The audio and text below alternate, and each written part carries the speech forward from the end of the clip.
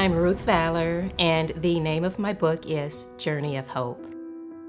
Growing up in the projects was really hard on my family. My mom struggled to make ends meet, and it was a tough time.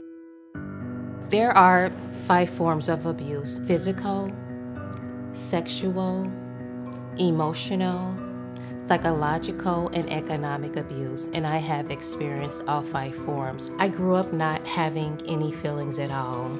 I stuffed my feelings with the sexual abuse that I experienced. I just basically shut down. I just wanted to be valued, I wanted to be accepted, and I wanted to be loved. It wasn't until after I gave my life to Christ, my life was like a roller coaster because I finally had to acknowledge and tell the truth so that I could heal. I knew during that time that God was walking with me every step of the way. The reason that I decided to write my book is because I wanted to help people who have seen or experienced one or more forms of abuse.